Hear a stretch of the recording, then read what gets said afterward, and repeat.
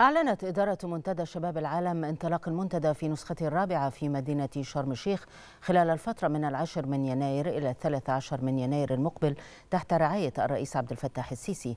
كما أعلنت إدارة المنتدى خلال مؤتمر صحفي بمقر الأكاديمية الوطنية للتدريب عن فتح باب التسجيل للشباب الراغبين في حضور فعاليات المنتدى من مصر وكافة دول العالم عبر الموقع الرسمي لمنتدى شباب العالم اعتبارا من اليوم الخامس عشر من نوفمبر ولمدة شهر كامل.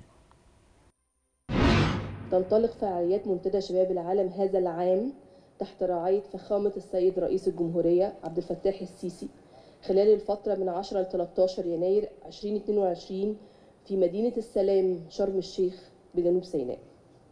وتناقش النسخة الرابعة من المنتدى أوضاع العالم ما بعد جائحة كورونا وتأثيراتها الإقليمية والدولية. بالإضافة لتسليط الضوء على قضايا الشباب المرتبطة بالمحاور الرئيسية للمنتدى السلام والإبداع والتنمية. وتأتي فعاليات المنتدى مع الالتزام بكافة الإجراءات الاحترازية والتباعد الاجتماعي. إحنا استضفنا أكتر من 15 ألف شاب وشابة وخبراء ومتحدثين من 160 دولة من حول العالم. مش بس كده لكن كمان المنتدى تم الاعتراف والإشادة به في منظمات دولية كتيرة.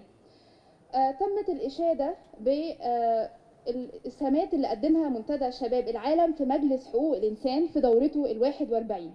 كمان تم اعتماد منتدى شباب العالم كمنصة دولية للحوار بين شباب العالم في الأمم المتحدة والاتحاد من أجل المتوسط.